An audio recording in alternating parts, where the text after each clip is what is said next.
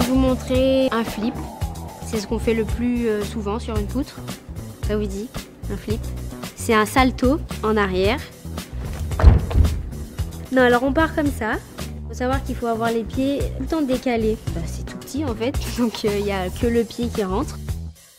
On fléchit pour un départ. Après, on pousse sur les jambes. Et ensuite, on vient chercher la poutre avec les mains. Et ensuite, il y a les pieds qui suivent.